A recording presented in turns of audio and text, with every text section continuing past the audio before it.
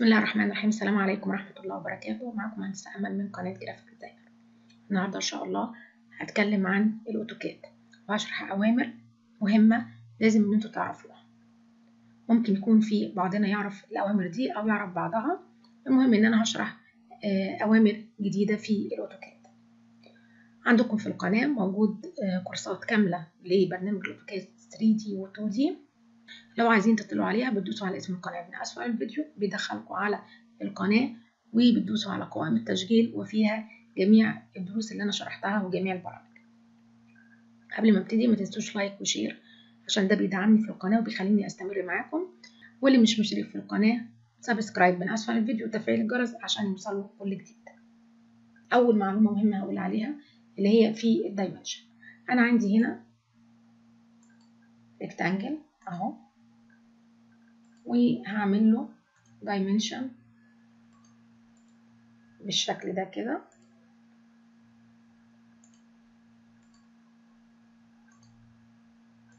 وعايزة أضيف وحدة الرسم اللي أنا رسمت بيها على ال dimension ده. بعمل إيه؟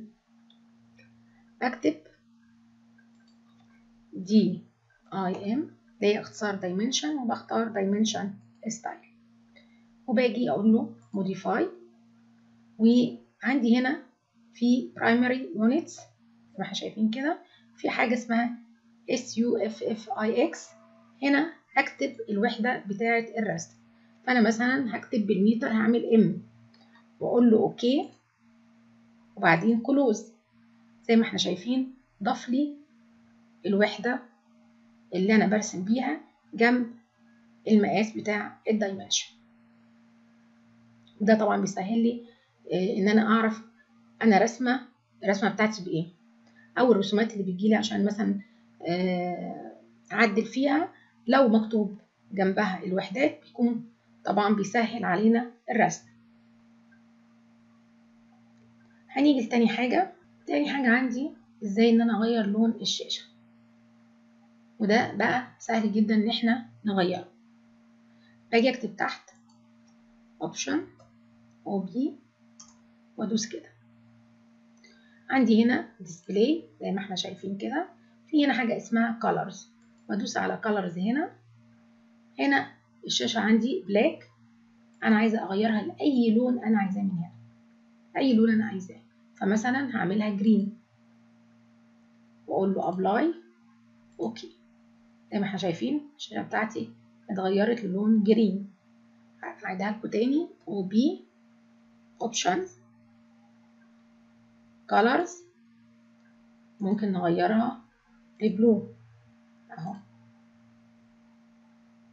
أوكي غيرت لبلو زي ما إحنا شايفين كده. يبقى أنا هنا ممكن إن أنا أغير لون الشاشة لأي لون أنا عايزاه. هنرجع تاني اللون بتاعنا اللي إحنا متعودين عليه. Colors. وبعدين black. وبعدين apply close. أوكي رجع لي زي الأول تاني. هتكلم كمان عن أمر آه جديد. أمر مهم في الأوتوكاد. الكرسور اللي إحنا شايفينه ده اللي هو خطين متعامدين ممكن إن أنا أحوله لسهم إزاي؟ بروح هنا تحت واكتب كرسور وأختار من هنا كرسور طيب عندي هنا القيمة صفر اللي هو الشكل اللي عندي الخطين المتعامدين دول. أنا لو عملت رقم واحد كده 1 بكتب 1 هيديني سهم هيحوله لي لسهم. هنشوف مع بعض أهو اتحول لسهم بدل الكرسور اللي كان موجود. ممكن إن أنا أرجع تاني أقول له undo رجعني تاني. ممكن إن أنا ال cursor ده أكبره وأقول له cursor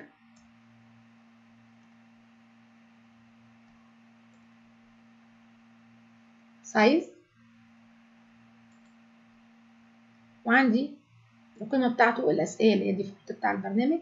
5 أنا هخليها مثلا 10 enter كبرهولي زي ما إحنا شايفين كده. يبقى إحنا ممكن نغير حجم ال cursor اللي موجود عندنا. هنعمل تاني undo نرجع لل default بتاع البرنامج. عندي حاجة تانية إن أنا ممكن أرسم arc واغير فيه. أنا مثلا هرسم line كده. أهو. بالشكل ده. وأجي أرسم ارك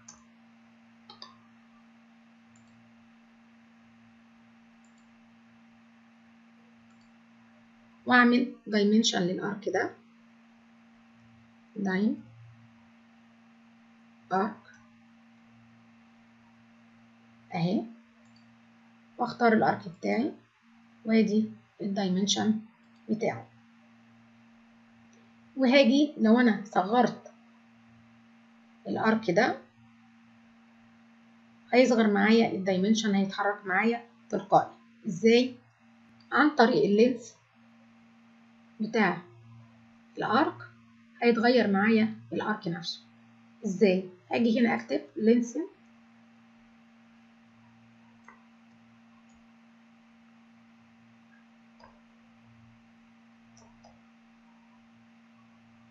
أهي.